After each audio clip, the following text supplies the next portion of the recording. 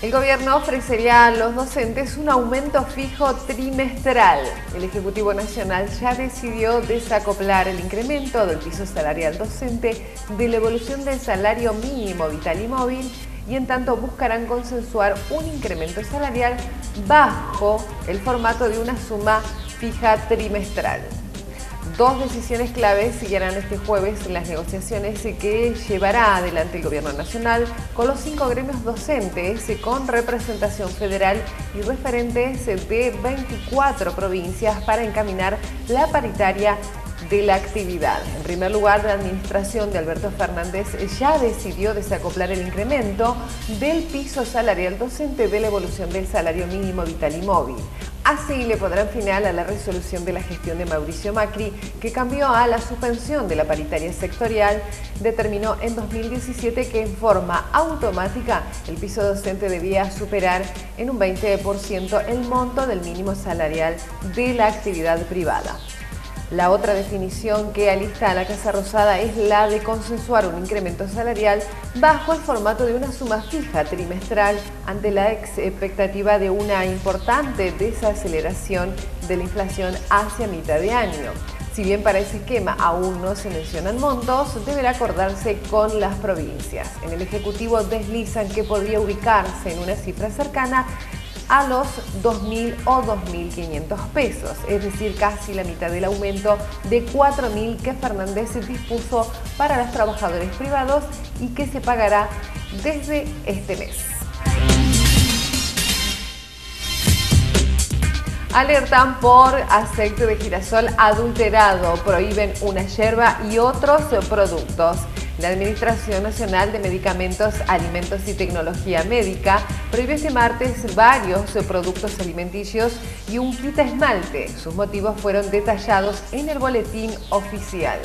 En la disposición 376-2020, la Administración Nacional de Medicamentos, Alimentos y Tecnología Médica prohibió el uso y la comercialización y distribución del kit esmalte rotulado como ANA Remover Express ya que carecía de codificación de lote y vencimiento.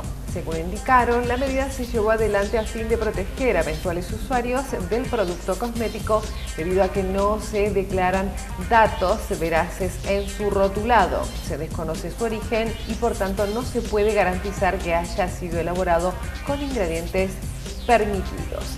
A través de una disposición, la ADMAT prohibió un aceite de girasol por resultar una falsificación del producto genuino Marolio. Se trata del producto rotulado como aceite de girasol Marolio, elaborado y fabricado por la firma Vicentín. Todo surgió con una denuncia de la empresa Marolio sobre la prohibición del producto adulterado que se realiza a través de la red social de Facebook y se comercializa en algunos puntos del mercado central. Asimismo, la ANMAT prohibió también en la disposición 375-2020 la comercialización en todo el territorio nacional de los productos rotulados como baño de repostería, fantasía, blanco, emet, por encontrarse en infracción del artículo 155 3 y 155 del Código Alimentario Argentino. La entidad prohibió también el uso y la comercialización y como así la distribución en todo el territorio nacional de una yerba mate con palo de la marca Ríos. El producto se halla en infracción por carecer del registro de establecimiento y de producto, por utilizar el símbolo de alimento libre de gluten sin estar registrado como tal y por estar falsamente rotulado, indicó así el ANMAR.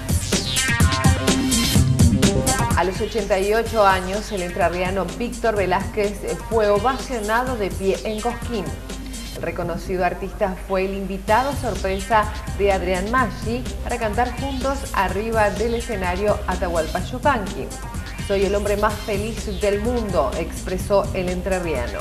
El cantor, guitarrista y compositor Víctor Velázquez recibió este lunes el premio Camín a la Trayectoria en la tercera velada de la nueva edición del Festival Nacional de Folclore en Cosquín. Reconocido artista de 88 años fue invitado sorpresa para cantar en el escenario. A los 88 años, el entrerriano Víctor Velázquez fue ovacionado de pie en Cosquín.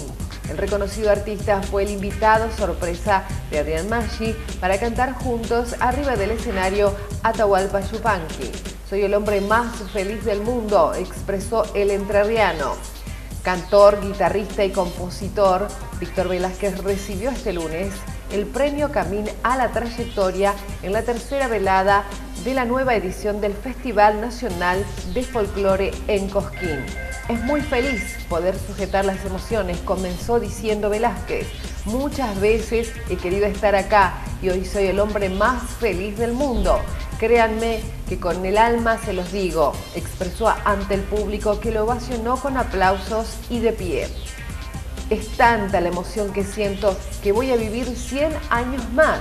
Estoy muy agradecido porque he vivido plenamente, manifestó y luego desplegó su talento sobre el escenario cordobés.